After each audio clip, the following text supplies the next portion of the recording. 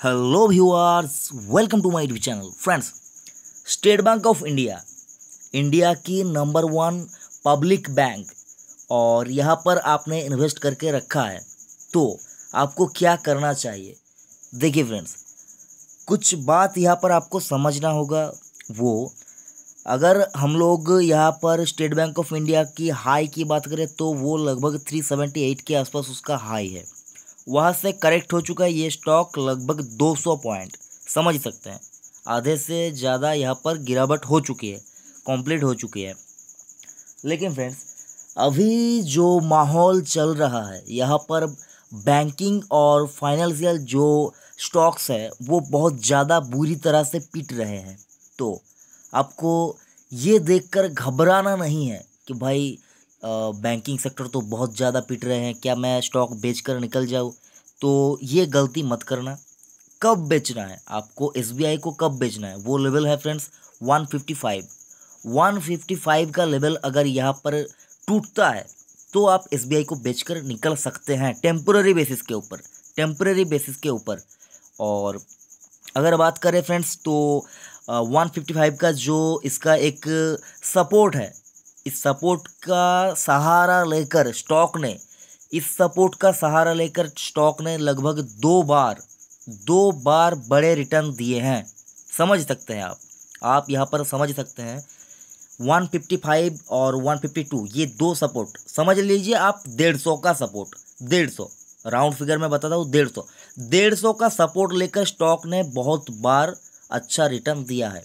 तो आपको इस गिरावट में ये जो करोना वायरस के वजह से जो गिरावट हुआ है मार्केट में तो इस गिरावट में आपको एक साइकोलॉजिकल स्टॉप लॉस अपने दिमाग में फिट करके रखना है एसबीआई के रिगार्डिंग वो स्टॉप लॉस है 150 जब भी एसबीआई में जब भी डेढ़ सौ का लेवल टूटे तो आपको एसबीआई से टेम्पररी बेसिस के ऊपर निकल जाना चाहिए।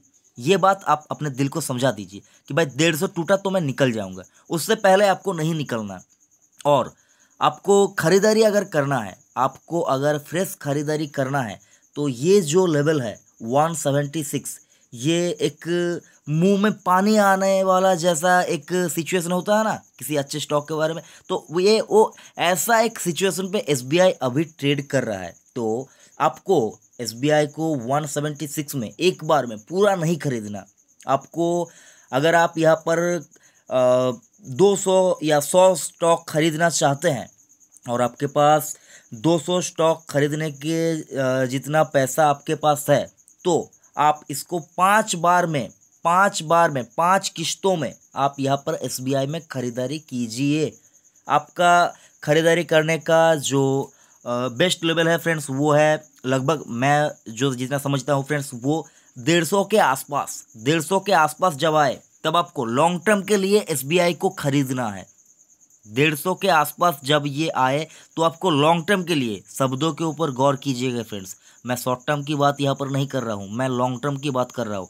यहाँ पर एसबीआई में अगर आप इन्वेस्ट करना चाहते हैं तो सबसे पहले आपका नज़रिया होना चाहिए कम से कम पाँच साल। अगर पाँच साल आपके पास स्टॉक को देने जितना नहीं है तो फ्रेंड्स एसबीआई को आप अवॉइड कर दीजिए। कम्प्लीटली अवॉइड कीजिए, क्योंकि फ्रेंड्स एसबीआई अभी जहाँ पर है, यहाँ पर से स्टॉक को स्टॉक को इसका जो हाई है, इसका जो वन ईयर का हाई है, वो हाई ब्रीच करने में कम से कम यहाँ पर एक साल के आसपास लग जाएगा लग जाएगा। क्योंकि फ्रेंड्स माहौल बहुत ज़्यादा बिगड़ चुका है आपको यहाँ पर ख़रीदारी करके रखना है लॉन्ग टर्म के लिए तो लॉन्ग टर्म के लिए मैं ये वीडियो बना रहा हूँ। शॉर्ट टर्म के लिए वीडियो अगर आप देख रहे हैं तो फ्रेंड्स बेकार में आपने इतना वक्त ज़ाया किया। लॉन्ग टर्म के लिए एसबीआई अभी बहुत अच्छे लेवल पर है। मैं बार बार यही कहता हूँ फ्रेंड्स लॉन्ग टर्म के लिए इस गिरावट में पोर्टफोलियो बनाइए। और पोर्टफोलियो में जो बैंकिंग सेक्टर में से, सरकारी बैंकों में से जो बैंक मैं रिकमेंड करता हूँ आपको, मैं रिकमेंड करता हूँ खरीदारी करने के लिए नहीं फ्रेंड्स मैं रिकमेंड करता हूँ आपको एनालाइज करने के लिए। मैं आपको रिकमेंड करता हूँ एनालाइज करने के लिए। मैं अपने हर वीडियो में जितने भी स्टॉक आपको बताता हूँ, वो स्टॉक खरीदारी के लिए नहीं फ्रेंड्स आपको एनालाइज करने के लिए रिकमेंड करता हूँ। कि फ्रेंड्स आप इस स्टॉक को एनालाइज कीजिए। अपने आप से पूछिए कि ये स्टॉक आपको खरीदना चाहिए या फिर नहीं।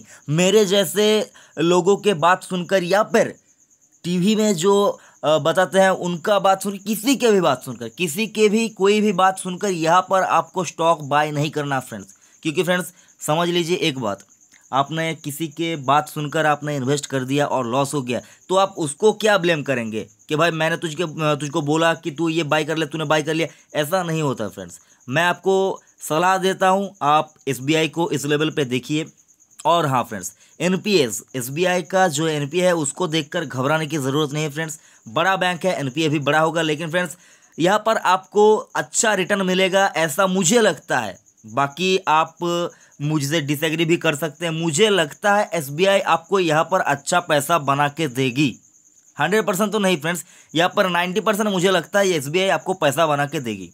और आपका जो इन्वेस्टमेंट का टाइम होना होना चाहिए वो है फ्रेंड्स लगभग पाँच साल। पाँच साल आपको एसबीआई को देना होगा। पाँच साल में आपका प्रॉफिट बहुत अच्छा प्रॉफिट बनेगा। तो ये आप समझ कर रख लीजिए। पाँच साल में एसबीआई आपको अरे भाई एस बी आई यहाँ से अगर गिरता है गिरते गिरते S B I maximum to maximum यहाँ से गिरने की संभावना जो है फ्रेंड्स वो मुझे इस लेवल पे जो लगती है फ्रेंड्स एस बी आई यहाँ से लगभग नाइन्टी सिक्स तक जा सकता है। नाइन्टी सिक्स लेवल को समझने की कोशिश कीजिए फ्रेंड्स नाइन्टी सिक्स तक एस बी आई यहाँ से गिरते गिरते जा सकता है।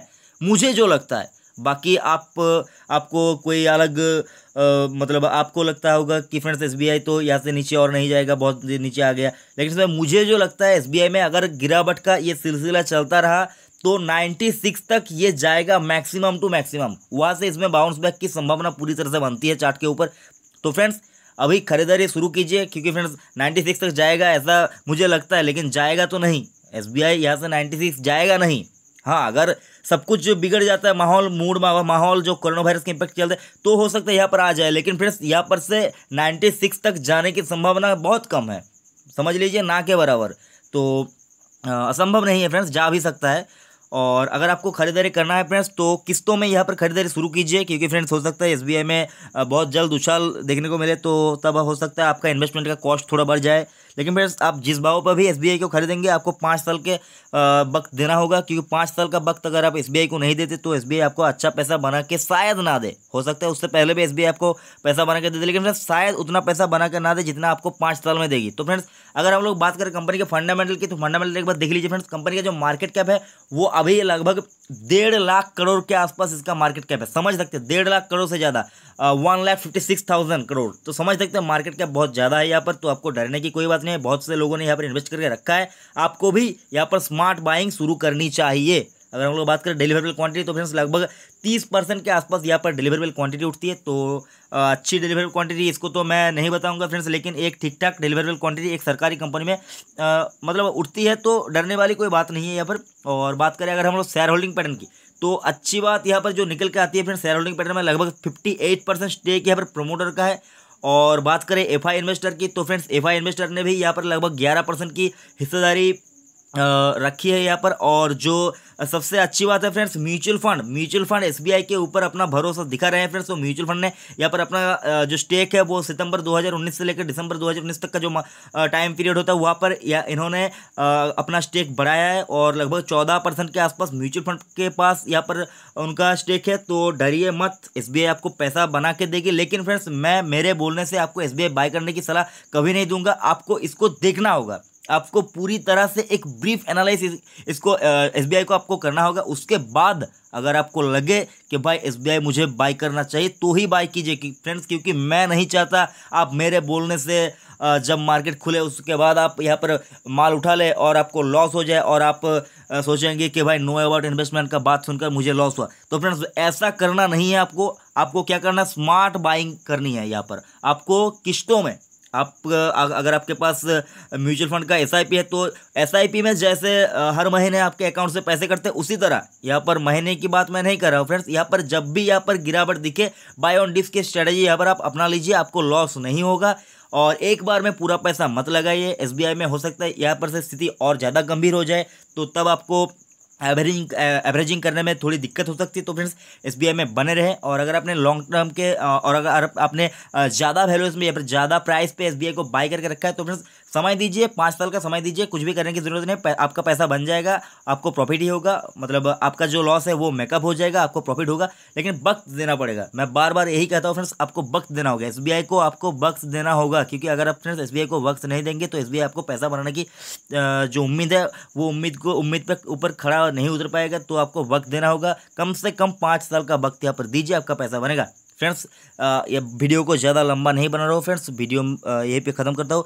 अगर वीडियो आपको थोड़ा सा भी काम का लगा तो एक लाइक करना और अभी तक आपने चैनल को सब्सक्राइब नहीं किया तो चैनल को ज़रूर सब्सक्राइब करना क्योंकि फ्रेंड्स आप सोचेंगे कि भाई छोटी कंपनी है फ्रेंड्स आपके सपोर्ट के बिना कोई भी चैनल बड़ा नहीं हो सकता। आप जो लोग वीडियो देखते हैं आपको मेरा एक सलूट है फ्रेंड्स आप लोगों की वजह से ही आ, कोई भी यूट्यूब चैनल बड़ा होता है तो एक हेल्प करना चैनल को, भाई का चैनल है, चैनल को बड़ा करने में हेल्प करना, फ्रेंड्स। Thank you